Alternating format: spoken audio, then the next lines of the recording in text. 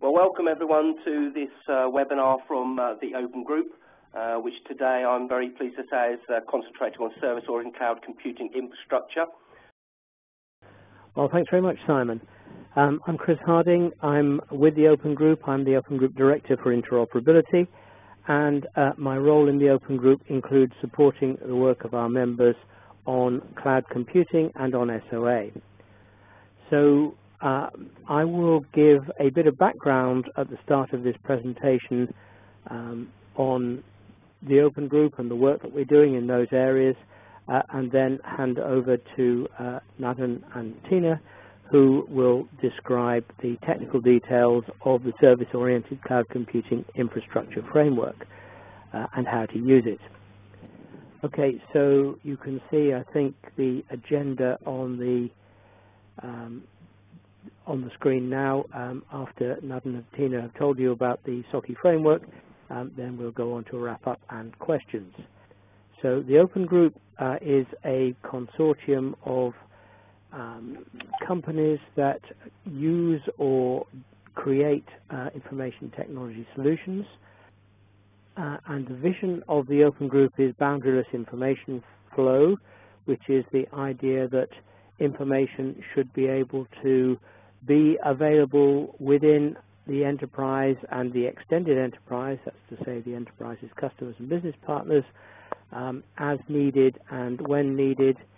Um, and this should be achieved through global interoperability in a secure, reliable, and timely manner. And uh, we see enterprise architecture as a key way in which boundaryless information flow can be achieved. Um, so we, our mission is to drive the creation of boundaryless information flow. We work with customers, we work with suppliers, and with consortia and other standards bodies, uh, and uh, we working with these customers, suppliers, and consortia, uh, we understand requirements and we uh, evolve and integrate specifications. And we're going to talk about one of those specifications today, the Service-Oriented Cloud Computing Infrastructure Framework. Uh, we also offer a comprehensive set of services uh, to other consortia, uh, and we are also um, the operators of the industry's premier certification service and uh, we do work on uh, encouraging the procurement of certified products. So there's a broad spectrum of activities that the Open Group undertakes uh, in carrying out its mission. We're vendor and technology neutral. Uh, we're an international consortium uh, and uh, membership is open to all enterprises, small, medium and large, anywhere in the world. So how do we how do we operate? What do we do? Um, we have uh, membership, uh, and as I said, we are open to membership uh, by companies of all sizes anywhere in the world, and those memberships collaborate in forums and work groups, and I'll be saying a little bit about our SOA work group and our cloud work group. Uh, we also hold conferences four times a year, um, I've just come back from the last one, which was in Cannes, France last week, a very pleasant uh, location and a very good conference. And we hold regional conferences in various parts of the world. Um, it looks as if I will be going to one in Saudi Arabia next month.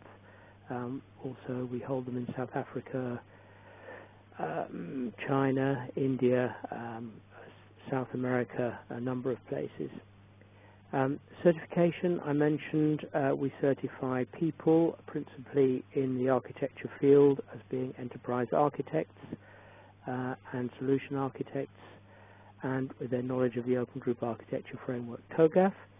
Uh, we also certify products. In fact, our original certification program was in the policing that we do of the Unix trademark, which we own, to certify that operating systems uh, are fit to use this uh, the Unix name. Um, wireless application protocol, architecture tools, uh, we also have certification programs for those and also for training services. Um, and as I think I mentioned a little earlier, we um, provide collaboration services, our expertise in running consortia we offer as a service to other consortia.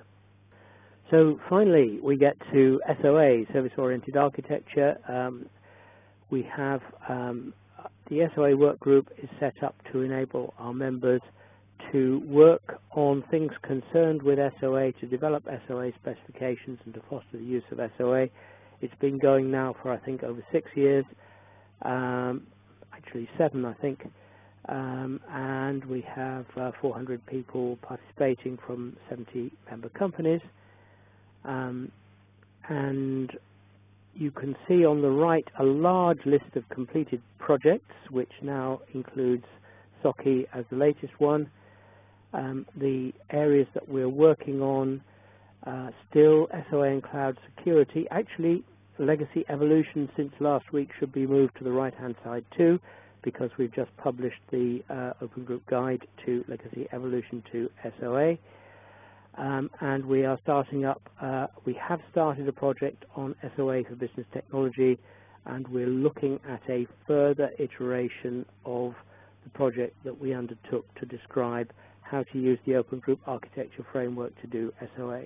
So the SOA work group is a mature work group. It has completed projects um, defining uh, a reference architecture standard, a maturity model standard, a governance framework, um, uh, a practical guide to using uh, TOGAF for SOA, and now the Service-Oriented Cloud Computing Infrastructure Framework in conjunction with the Cloud Work Group. So uh, it is a mature work group.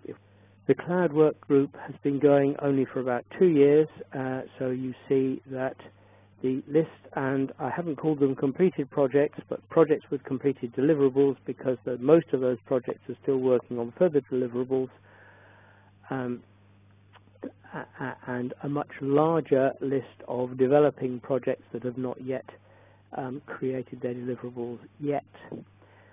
Um, the main thrust of the cloud work group is on the understanding of use of cloud computing to gain its benefits in enterprise architecture. It's now a larger work group than the SOA work group, both in terms of the number of participants and the number of participating companies. And it was the SOA and the cloud work group that got together jointly to develop the um, service-oriented cloud computing infrastructure uh, framework. So um, I think this may now be uh, an appropriate point to hand over to uh, our experts, but just to say that this is the first cloud standard that we have produced. Um, it's produced jointly by the SOA and cloud work groups. The SOA work group had produced many SOA standards. This is the first one the Open Group has produced on cloud, and it lays out the concepts and architectural building blocks for infrastructure to support SOA and cloud and it was developed by members of the Open Group SOA and Cloud work groups, um, including HP and IBM and also other companies, but the two co-chairs of this project were Nadhan from HP and Tina from IBM, and I think this is probably an appropriate point to hand over. I think is Nadhan going to um, to take it from here? Thank you very much, Chris, for that um, overview on the open group and where the SOA and cloud work groups fit in. My name is Nadhan. I am one of the co-chairs for the Service-Oriented Cloud Computing Infrastructure Project, uh, or as we call it, um, SOCCI. And um, Tina Abdollah from IBM is the other co-chair. She's on the call as well, and uh, she will be chiming in and also speaking to the, some of the other slides that come later. Uh, but basically, uh, it is the two of us that uh, co-chaired the SOCCI project and taking it to the publication of the first technical standard, which we will be walking through today. Um, I must say, just to give some context as to where uh, SOCCI started, uh, to elaborate on what Chris said, um, we really started within the SOA work group. Uh, it, it, was born, I must say, in concept as the service-oriented infrastructure project.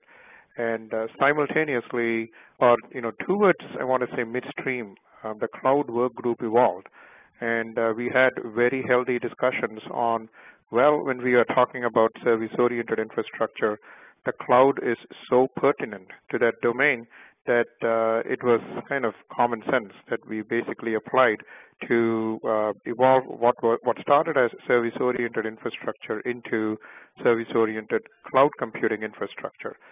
That will provide uh, you know additional context as to why this became a joint project both between the SOA and the cloud work groups. And to the uh, third bullet on the slide, I cannot stress enough the contributions of uh, the different uh, members of the team representing various companies, uh, the open group itself, and you will see the details uh, within the published guide that for which you have a link in this deck as well. With that, uh, if you can go to the next slide, Simon. So one of the questions uh, the open group challenges itself with, which we did in this case as well, um, whenever, you know, like all other projects, we have to justify for ourselves um, why do we need to work on the project and also what are the goals. And in this particular case, since we are talking about a new technical standard, what's the need? Is the market really asking for the standard? And when we did the analysis, uh, at the time SOCCI started, and perhaps uh, true to some extent even today, there are many prevalent standards that have been there uh, for SOA uh, for many years now. And cloud standards have also emerged, and there are uh, quite a few around that we do interact with uh, that uh, Chris was talking about earlier. However, when you look at the intersection between SOA and cloud standards, um, are there standards for infrastructure being provisioned? So the application of the service orientation principles is something that we have been doing um, a lot in the application space, but not as much in the infrastructure space. That kind of evolved later. And standards take time to evolve. They don't, you know, it's not like you get the standard first and then the world starts doing things. It's the other way around. Therefore, uh, uh, what we found was that really there was no technical standard that applied to the the, the incorporation of service orientation principles in the infrastructure domain. And voila, SOCCI. That's really how that came about.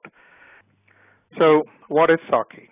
It's really the um, basically the, the realization of an enabling framework of service-oriented components with infrastructure in mind so that it, infrastructure can be provided as a service in the cloud. So what is really happening is, you know, we are capitalizing on the emergence of virtualization technologies, the SOA principles being applied to infrastructure, and thereby offering infrastructure as a service when it is in the cloud. That's really what the SOCCI framework is enabling. Basically, uh, what you are seeing here, and I would encourage everyone to subscribe to the open group blog where there is a constant feed of really insightful posts by different members of the open group. And um, what you see here is a post that actually details, uh, there is a press release, that's the, the first link. These links are live. And you also see a post about, you know, what was involved in the uh, first technical standard. That's the second bullet. And then uh, basically this is uh, the press release statement itself saying, you know, it outlines the concepts, the architectural building blocks, and we will get into detail on the SOCCI standard uh, in, in, the, in the next few slides. This is where I would hand it off to Tina. I would also, we are going to kind of chime in as we deem fit. So Tina, please feel free to weigh in on the earlier slides, but uh, do take it away from here. Okay, thank you, Nadhan. And first of all, thank you everybody for joining the call. Um, as we say, this uh, this work product really is is combined efforts with using a lot of previous work from the uh, service-oriented infrastructure uh, groups, and as well as uh, I want to point it out, we have other work groups that are working in concert, uh, such as the security and others um, team that we we didn't want to really to uh, spe to specify it in detail in this uh, standard because we believe those groups, the work groups, which in the open group, they have produced their significant uh, work products, which is uh, can give you much more in depth. So while we walk through here, I will point it out uh, as I'll slide going through uh, some area that um, potentially uh, you would have to go through another work group to find more details, such as the security itself and, other governance per, per, se. And as Chris said in his uh, earlier um, opening statement, um, we now have started some other project, including cloud computing uh, governance project, which Nadhan and I are leading. Um, we we will go into much more further detail in depth in terms of address some governance area. So with that, in this slide, what you're looking at is basically extending what the um, SOI, uh, service-oriented infrastructure, into the cloud by uh, uh leveraging um, SOCCI as a foundation. Um, and as we know, the cloud computing uh, puts a new demand on the IT infrastructure and management in an abstract manner. And a cloud computing provider need to support multi-tenancy. Uh, in, instead of for individual subscriber now, they have to provide uh, more coarse-grained services uh, to help maximize and utilize the resources, dynamic allocation the resources, and metering with the chargeback and so on. And we we are actually starting out using in our uh, paper when we start, we try to uh, leverage what NIST has published, the, the cloud computing characteristic, uh, you know, which I'm sure most of you are familiar with. Again, what I was trying to say is uh, we try to examine what is available in industry and take what is the, the most um, acceptable standards and try to use versus building from scratch. And we use the the NIST standards, I mean the the, the characteristics defined by NIST, such as on-demand self-services, broad network access, and so on, um, resource pooling. But because the, special, the specific differences and unique difference between cloud and uh, service-oriented infrastructure in some way is um, the, the, in the dynamic poolings and provisioning and so on, we felt that SOCCI will be able to bridge the differences to extend from the SOI that which has been um, done in an open group previously. They have uh, uh, papers that if you guys uh, are willing, you can actually uh, uh, get from the open group side. Um, some of the things are very similar, uh, like we were talking about um, using the services and, and, and as a foundation, like a building block, to provide some operational transparency to potentially to the subscriber but it's not for the uh, single subscriber here. We're talking about uh, multi-tenancy here. So that uh, way to be able to provide a chargeback, to, to be able to automatic provisioning become extremely important. Um, and why is, uh, does not offer the whole spectrum of the characteristic desired is become an enabler for SOCCI, okay?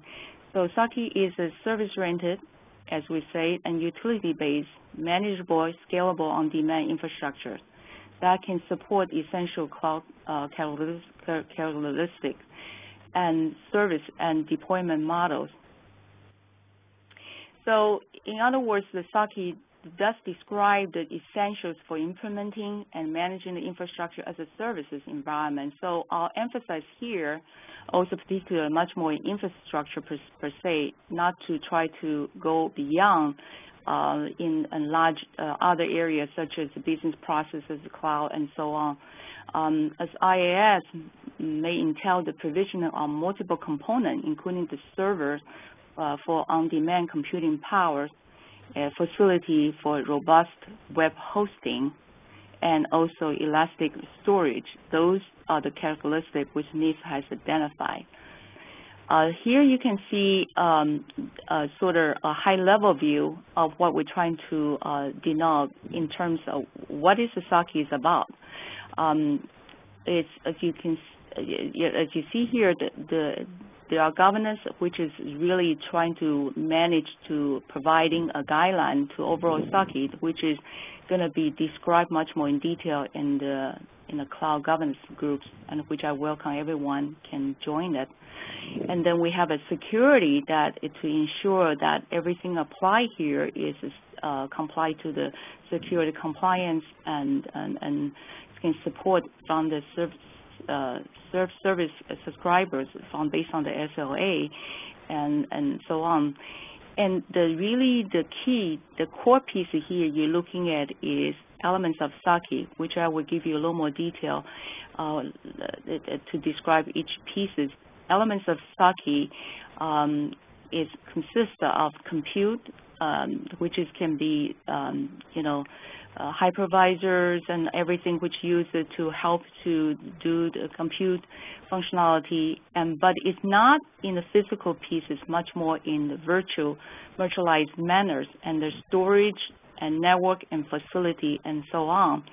Um, and then we are trying to be um, much more focusing, since I said, in the infrastructure pieces. So we are trying to standardize or make it much more simplified um, as an open group is uh, as much more um, vendor neutral and you know product agnostic. Uh, provide you a view that uh, allow you to see uh, to use all these elements of SOCCI. There is a cloud computing um, sort of management platform which is which consists of um, managing building block. We have this business perspective as well as operational level uh, separate building block which interact with the user, external user, uh, on the business level and the operational level, the building block is interact with elements of SOCCI. So um, as we moving forward, you can see um, that those building block, as we right now seeing uh, on the screen, they are also to support sets of users from their perspective. So um, we do not include the basis, uh, you know, some of the like service registry uh, or nor um, like service registry for registration and publishing services or orchestration, composer, uh, choreographer stuff.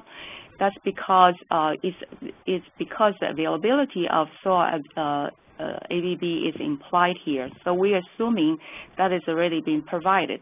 We also, um, as I said, um, we're talking about discuss the management building block is directly related to infrastructure that supports SOCCI, right? So some of the broadly used cloud and IT services management-related components such as service catalog and compliance policy managers are also excluded from the list of cloud components because we, we and, and, final detail like SLA, service level agreement, those all imply in the building blocks. So assuming the location managers, let me talk about from the this common building block because they are the enabler to allow the user to use uh, this, the element of SOCCI.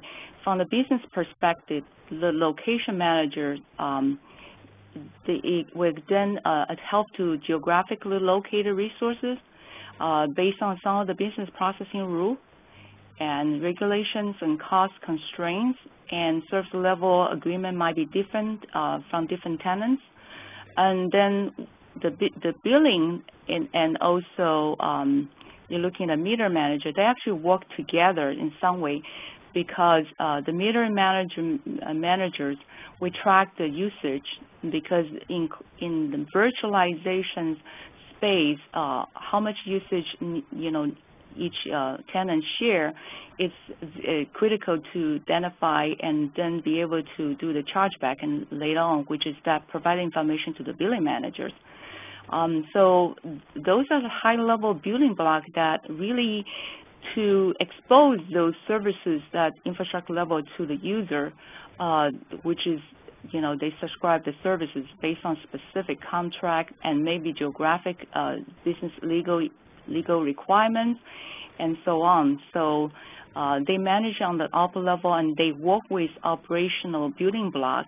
In this case, um, we have virtualization managers, which you look at it, that is really provide resource dynamic pooling um, allows you to emulate a physical infrastructure component, um, you know, any parts of this elements of SOCCI. It is also uh, act like a facade and a manager for physical infrastructure elements of SOCCI within, the, within this uh, framework. Um, then it's important to knowing that because it's sharing the environment, we have multiple tenants, we provide this monitoring and event managers that can help to monitoring the different services and the event and trend of usage to see if there's any conflict, whether there's alerts need to uh, initiate it to trigger based on some defined, previous defined some of the rules or processing abnormality, and then make correlated uh, network and resource assets, ensuring the compliance and reporting any problem potentially. Um, this is also important um, to, um, to in, in sense, simply to indicate how one uh, that is best way to propagate or clear any incidents. Um, if we moving the model from the point as um, in cloud is much more proactive because we needed to provide this automatic kind of automation to proactively to monitoring to detect a need to using monitoring event manager is critical to measure the mean time between failure and mean time to repair. Um, and with any uh, potentially configurable alerts that so the, the, the user which is subscribed to the service can immediately get notification and escalate uh, automatically of any problem or issues.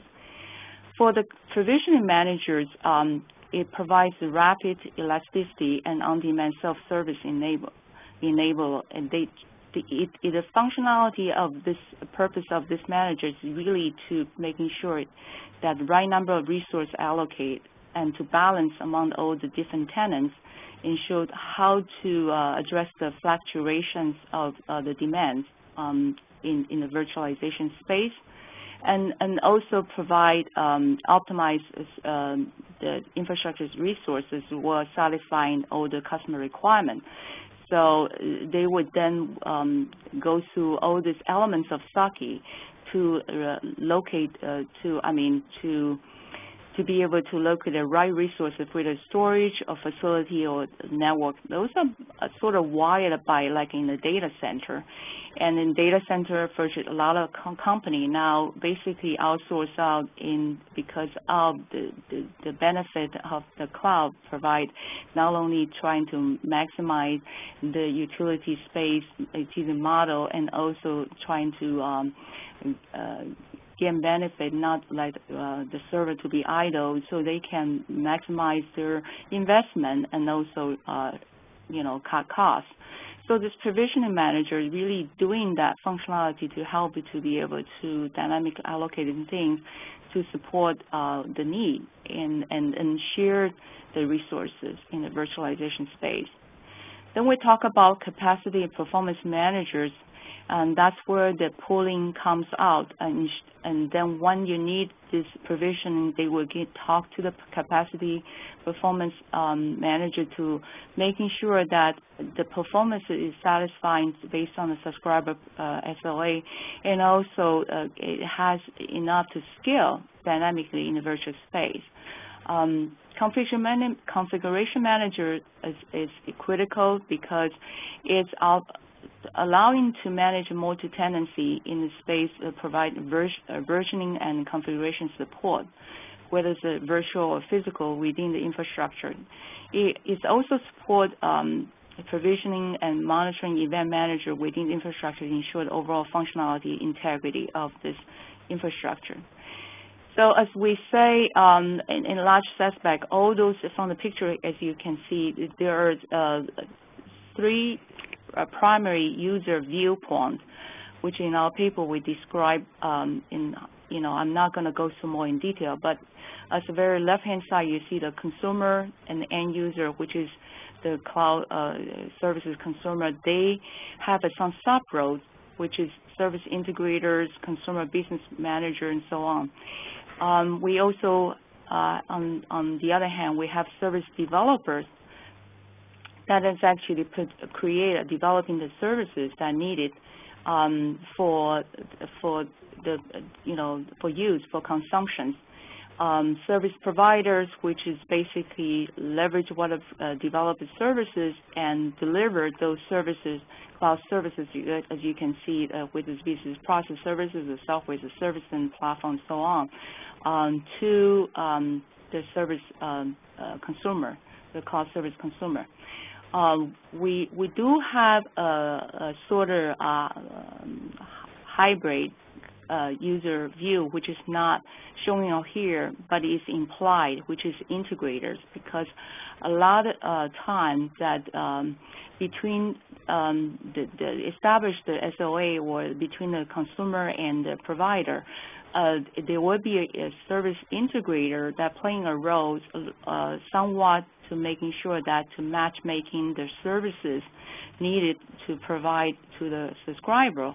Um, and but it's not necessarily is is a mandatory role, more like a hybrid or optional role. So we're not showing here, but in our paper we did describe what the the some sub role that it it provides.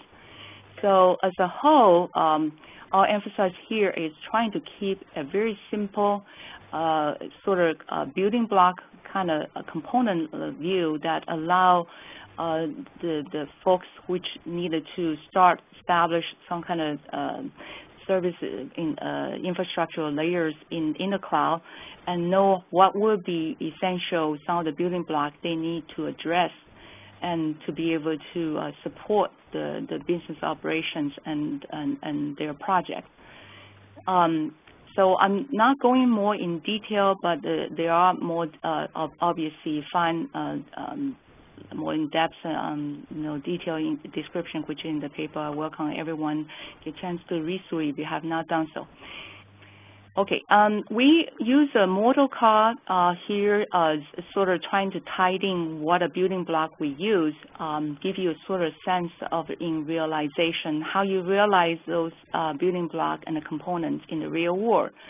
And this uh, you know, race car is a simple way of uh, see in the middle sitting here, which is in the green line, those are the integrator. Uh, a sort of, of course, remember this is a, a one scenario. There might be multiple scenario that can um, be derived from our uh, SOCCI, but we try to try to take one example, which is just a, a very simple example to show you uh, assume there is, uh, assuming there is a, a, cloud integrator that has developed a site that to provide a motorcar information to the subscriber when they want to see what's race information, they want to put information out.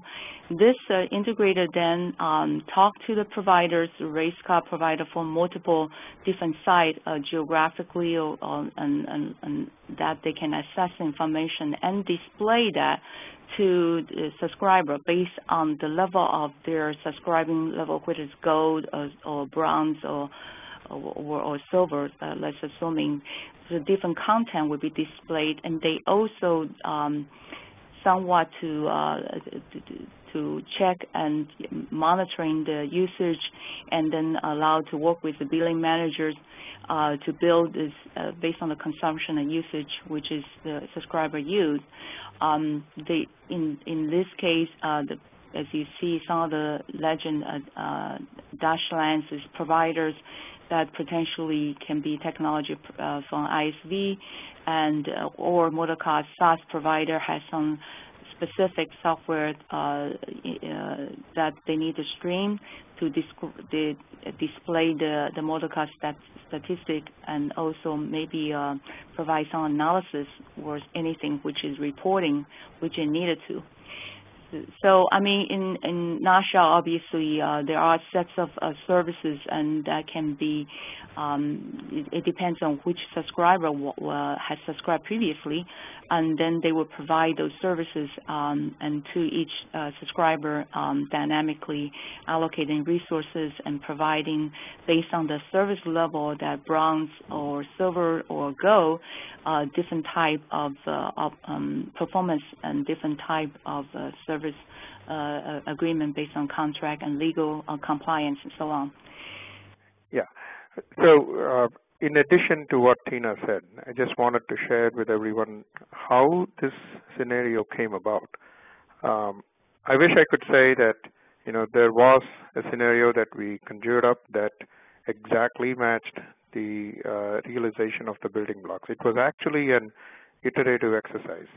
So for each building block that Tina walked through in the framework on the previous slide, uh, the way we would go about it is, okay, let us see where could the virtualization manager be used? Where can the configuration manager be used? And is there a real life, um, or at least, you know, uh, from an application perspective, is there a, a, a, an aspect of this scenario where we can highlight that? So what you will find in the paper is the scenario itself, but in addition, you will also find how and where the building blocks Tina walked through uh, has been applied or can be applied, which is why you see multiple levels, uh, you know, the gold uh, consumer, and, and you, you see regional content like EMEA versus uh, other regions where there could be some compliance laws and so on. We also tried to address uh, the availability. So that's why you see a primary and secondary provider, provider for uh, IaaS, as well as uh, the technology providers that can be a fallback. And then going back to the roots of SOCCI, just to consume services in the strictest sense of the word, you have the content provisioning service, which is what you see uh, in the bottom and uh, top left. So just wanted to highlight those aspects and um, um, emphasize that we have made a sincere effort to not just call out the technical and architectural aspects of what SOCCI is, but also ensure that there is an application in a business scenario. Hopefully, this would facilitate your application of the standard in your environment. And uh, perhaps there are some, you know, multi-tenancy. So here you see a service integrator accommodating multiple tenants. So think of different auto racing companies provisioning videos and using the same environment. So, you know, such characteristics I would assert can be applied in other scenarios in other industries as well, which we are hoping will facilitate your application of the standard. Which, which is a good segue.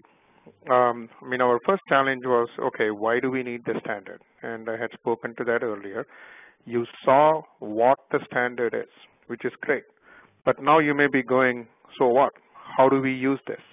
So this is really uh, speaking to the steps that you can take to apply this standard in your environment. For starters, it actually uh, embraces the foundational principles of service orientation. And by the way, in the paper, you will see a section that talks about what the basic SOA characteristics are you will see the NIST characteristics for cloud highlighted. And then you will see a section that kind of brings the two together, kind of a 1 plus 1 equals 3 paradigm where you will see synergies that cannot be realized without the coexistence of both. You can judiciously apply and extend the traditional environment and enable the provisioning of infrastructure in a service-oriented fashion in the cloud. That is to say that, you know, it is not that, you know, cloud is the answer for all the infrastructure to be provided as a service. We recognize that there may be a healthy balance that need to be struck. So you can apply this standard to, you know, extend the adoption uh, in that manner. Like Tina showed, you know, what you think about the cloud, how, how you perceive it really depends on who you are. And what I mean by that is, you know, what your role is, which is why in the diagram that Tina spoke to earlier, you will see on the periphery different viewpoints. So you can actually, uh, and in the paper, we have not really gone into the detail in this deck, but in the paper, you will see the viewpoints themselves detailed out. So depending on who you are or what your role is in the enterprise, you can apply that particular viewpoint using the standard in your environment. The other piece is that, you know, today you may have an architecture solution in place, uh, or you may be in a position where you are about to implement um, a cloud-based approach in the enterprise. Either way, the list of building blocks, the business and the, uh, uh, the technical ones that uh, Tina walked through, they can serve as a good checklist at the very best, where you can validate, you know, do I have the virtualization manager? Who is going to do the metering? Is there a billing component to it and how is that being handled? So, you know, th what this is promoting is a way to ensure that you have a well-defined finite set of building blocks which will better enable you to do it right. Now, in the event you already have a solution deployed in the cloud, that's fine. But there again, you can use this as a validation list to see, do you have all those pieces in place?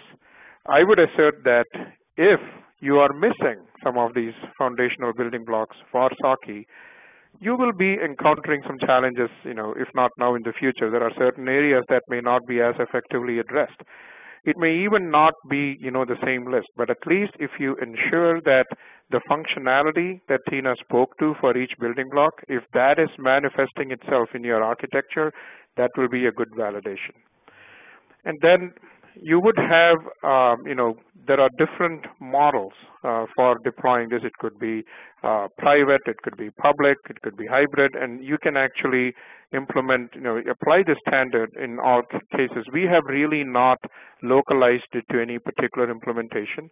In fact, we recognize that, you know, the business and technical needs would drive the type of environment that, uh, you know, is best suited for you.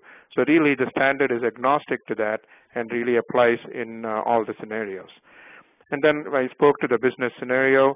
Now, Tina had uh, mentioned this. It is just calling it out. Uh, we recognized the need for governance.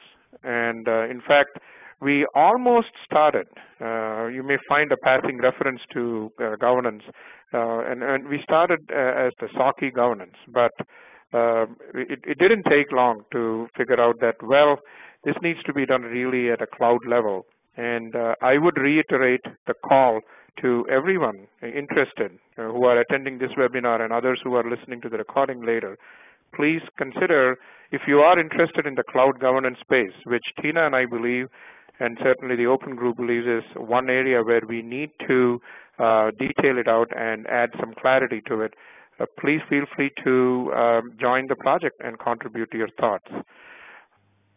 So this is kind of uh, taking you behind the scenes um, and you know uh, in the event you are on other projects that are in flight maybe this would be a good uh, you know at least we are sharing our experience when you're seeing the end product but here is what uh, here are the different steps that we went through. First off we identified you know we we asked the so what question. So what if we brought SOA and cloud together? That is step one. The next step was to identify the building blocks. And then um, we did uh, take the step to you know, ensure that the SOCCI framework is actually in alignment with both the SOA reference architecture that has been published, as well as the cloud reference architecture, which is an in-flight project. So you know, we had to answer ourselves the question, not just us, but also working with the SOA and Cloud Reference Architecture project, where does SOCCI and the, the building blocks of SOCCI fit in in those uh, architectural layers? So that's the, it was a very critical step actually. Step four was the motorcars uh, business scenario. And step five, like Tina was talking about earlier, is recognizing the fact that, you know, it's not just SOCCI, there is security and uh, other areas that are being addressed across the open group, which uh, you will find the detail in the SOA and Cloud Workgroup project slide that Chris walked through earlier. So identifying the connection points. These are basically references. You will find the actual publication. You can download the um, SOCCI framework itself. Uh, there is a press release, related blog posts, and yes, uh, shamelessly, Tina and I are putting a plug for the governance project. That is really what you see at the end. We um, uh, we really think that this is an area that needs to be evolved. Um, and we have had, there is good content that has captured, but a lot more work to be done. So we certainly look forward to your active participation and contribution to the Cloud Governance Project. And uh, if you reach out to us, we also came up with a uh, you know a list of things, uh, list of areas that could be expanded upon. We did ask ourselves the question in the end. Okay, this is SOCCI. What is SOCCI plus plus? What is SOCCI 2.0, so to speak? You know, are there areas that could be elaborated and so on? So um, we have compiled that list and would be more than happy to share if anyone of you want to work with us to take the initiative and then take it to the next level. But before opening it up for questions, uh, let me check with Tina. Uh, was there anything else you wanted to add before we jump into Q&A, Tina? Um, yeah, just to uh, to to emphasize one thing about the governance. In our current SOCCI paper, we do have a very uh, small write-out uh, trying to describe the, the governance because governance is sort of uh, uh, cross-cutting one of those discipline area it, like security. It's, it's really it's not just uh, limited or just to uh, you know infrastructure or SOCCI uh, per se, but it's so important. Uh, one the reason I'm pointing out is because the virtualization the, really from the subscriber perspective is uh, providing this product agnostic things. So how the governance uh, be able to help to decouple the technology with product, and how to be able to uh, to robust, ro very robust track the records and and especially the SLA, including um, security and so on and, and providing some somewhat centralized that visibility to the user by either by reporting or dashboard so on. And I, I would just strongly recommend that it's not trying, we're not trying to shortcut, not to, to describe in our papers.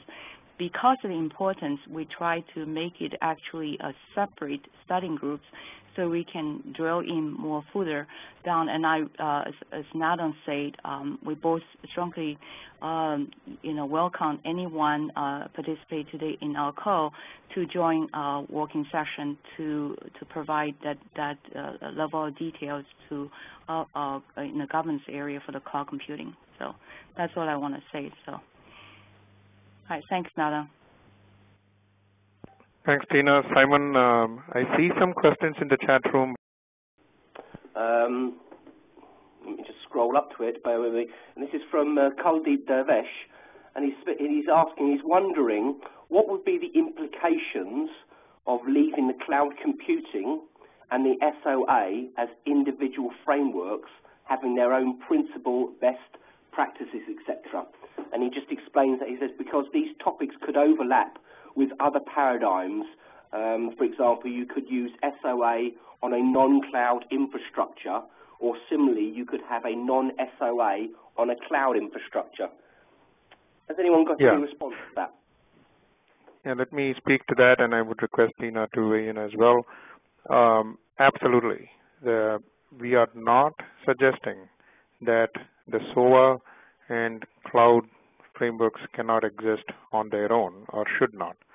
However, as we are looking at this slide, I will point uh, Kuldeep and others to the second blog post, which is the telltale signs of SOA evolving to cloud. And I, am doing that because you will see uh, that you know the fundamental principles of cloud really have stemmed from what SOA incorporated. And it behooves us to at least see what are the synergies that could be realized. And if there are, why not? Why leave it alone? So we are not suggesting that they shouldn't be used in isolation. I can see instances where they could be. At the same time, we should recognize, acknowledge, and capitalize on the synergies that we can gain as enterprises in this industry so that you know we don't lose out on the benefits. So that, that's what I would say, Kuldeep. Uh, Tina, did you have any? Uh, go ahead. No, I, I think that's uh, what you have said. That's that's what I, I, I felt as well. Mm -hmm. Yep. That's excellent. So I think we, uh, if everyone is in agreement, that's probably is a good time to uh, uh, end this presentation. Um, I would just like to say thank you to everyone that's participated uh, say thank you to all the three presenters and just say if you've got any final comments, would you like to say any final comments, folks?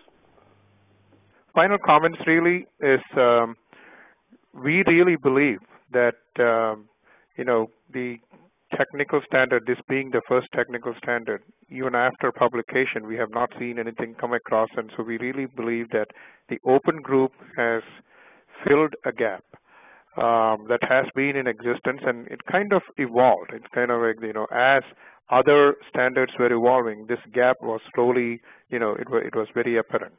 and the open group has certainly addressed the gap. However, the standard can only be as good at it as its level of adoption.